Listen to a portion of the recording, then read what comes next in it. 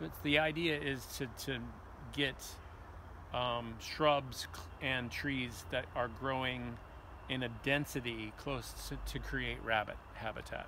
So that's the idea. So to have stem density high, and how we're doing that is we're coming in and we're masticating, and then we're taking the larger trees and we're going to snip them, and we're going to set them aside, and then we're going to let this regrow. This is this is habitat transition in New Hampshire and Maine.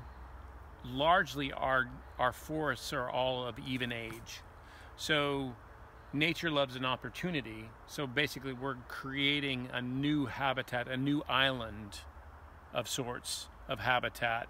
And there are rabbits that are close by that could use the corridor of the of the neighboring property and of the river corridor, the Oyster River that we're close to, that could use this habitat in the future.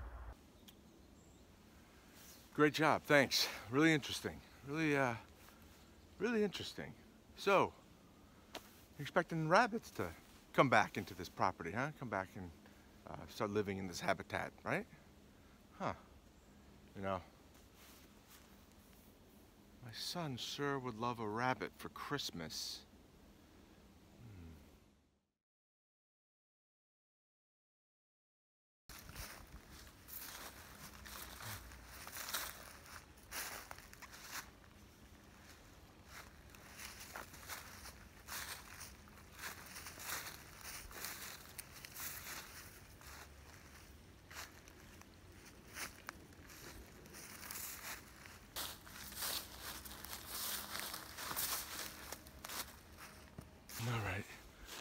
Man,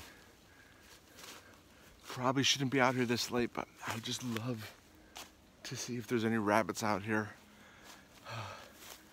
It's dark. You know, just just to see. I, I, I wouldn't take a rabbit. I would never do that. Just want to see what kind of rabbits there are. You know, my kids want a rabbit for Christmas. They're tough to come by, so I just just want to take a quick visit. Just take a quick look. See see if there's any rabbits out here. That's all I want to do.